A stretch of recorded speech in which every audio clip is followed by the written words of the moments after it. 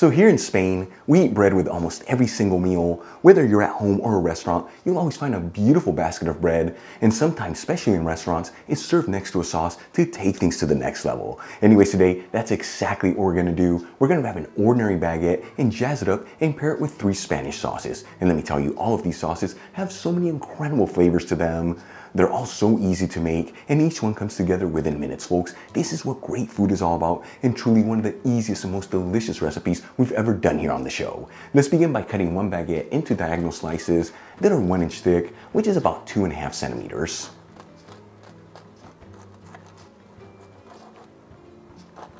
Once you've cut all the slices from the baguette, transfer them into a baking tray that's lined with parchment paper and make sure they're all in a single layer.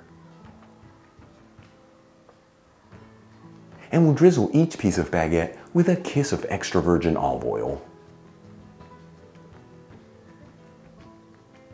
And we'll add the baking tray into a preheated oven, broil only option, that's just the top heat, 210 degrees Celsius, which is 410 degrees Fahrenheit, and we're gonna lightly toast our slices of baguette just between two to three minutes. Now typically when you're working with a baguette, you don't have to toast it as it already has a great texture. But since we're gonna be adding some sauces over the slices of baguette, you wanna lightly toast them. That way when you add the sauce over the baguette, it doesn't get soggy and it keeps its beautiful texture. Alright, let's start making our sauces. For the first sauce, we are making a garlic mayonnaise alioli. This is known here in Spain as un alioli de mayonesa. It's very easy to make and it's got a beautiful creamy texture. I'm gonna add in half a cup of mayonnaise into a bowl, which is 115 grams. Then we'll grab one clove of garlic, finely grate it into the mayonnaise. If you don't have a grater, you can just finely mince the garlic. Then we'll squeeze in one teaspoon of fresh lemon juice, which is five milliliters.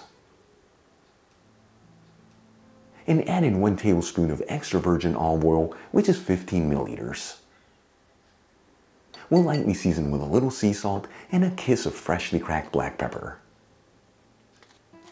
And we'll whisk it together until everything's well mixed and we end up with a beautiful creamy sauce.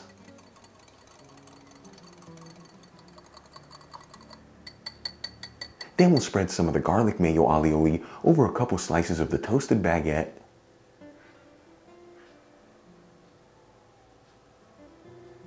We'll sprinkle each one with just a dash of sweet smoked Spanish paprika. And we'll sprinkle them with some finely chopped parsley. Check it out, our first sauce is done, a very simple garlic mayo alioli that really takes the baguette to the next level. Serve this next to some grilled fish and roasted potatoes for the ultimate experience. Alright, let's move on to the second sauce. We're making un picadillo de ajo y perejil. This is basically a parsley and garlic sauce. I'm gonna grab a generous handful of fresh parsley, and finely chop it. And we'll add in about a quarter cup of the chopped parsley into a bowl, which is about 20 grams. Then we'll grab one clove of garlic, finely grate it into the parsley. Once again, if you don't have a grater, you can just finely mince the garlic. And we'll add in two tablespoons of extra virgin olive oil, which is 30 milliliters. We'll season with a little sea salt and once again, just a kiss of freshly cracked black pepper. And we'll whisk it together until everything's well mixed. And then we'll spread some of our parsley and garlic mixture over a couple slices of toasted baguette.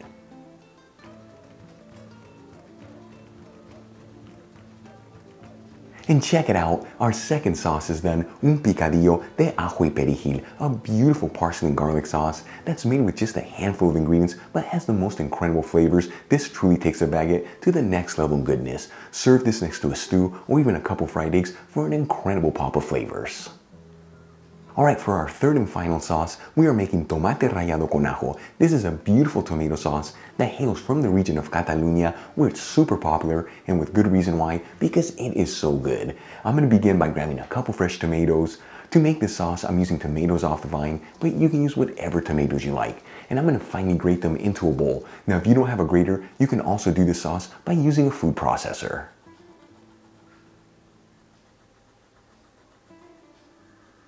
Then we'll finely grate one clove of garlic into the tomato sauce.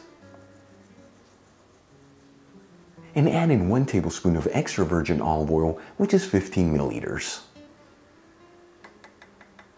Then we'll season with a little sea salt and just a dash of freshly cracked black pepper.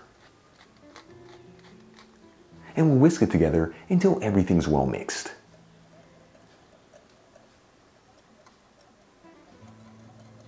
Then we'll spread the tomato mixture over a couple slices of the toasted baguette